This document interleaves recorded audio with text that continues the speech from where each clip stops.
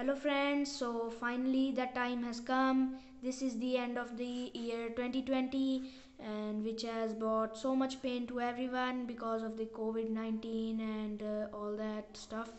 But uh, another fresh new year is here, another year to live, to um, banish all your worries, doubts and fears and to love, laugh and give. Happy New Year everyone also subscribe to the channel